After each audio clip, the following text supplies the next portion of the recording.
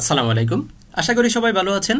তো আজকে আমরা আলোচনা করব এর ভ্যালুস যে বিল্ট ইন ফাংশনটা আছে এটা নিয়ে।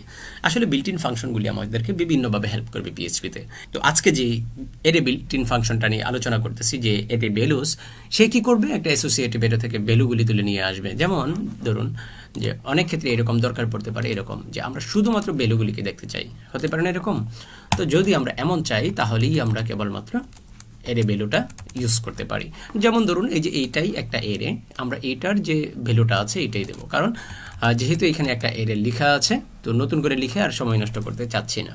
তো আমরা এরে ভ্যালুস এখানে দিলাম। দেওয়ার পর, তো এখন এখানে ভ্যালু বলতে কিছু নাই ভ্যালুস মূলত এখানে হবে।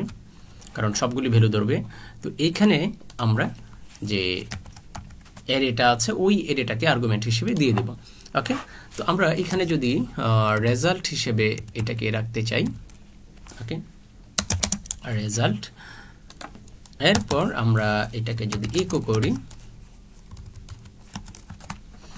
তাহলে আমরা একটা কনভার্সন ইরোর দেখতে পারি, তাই না?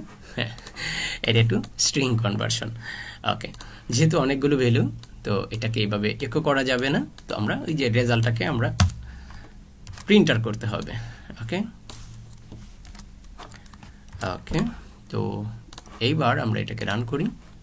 এই দেখুন, শুধুমাত্র ভ্যালুগুলোকে নিয়ে আসছে এবং এটার জন্য আলাদা একটা ইন্ডেক্স সেট করে নিছে।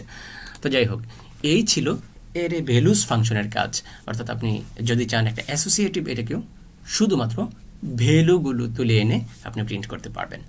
ওকে তো আজকে এই পর্যন্তই। দেখা হচ্ছে নেক্সট ক্লাসে আল্লাহ হাফেজ।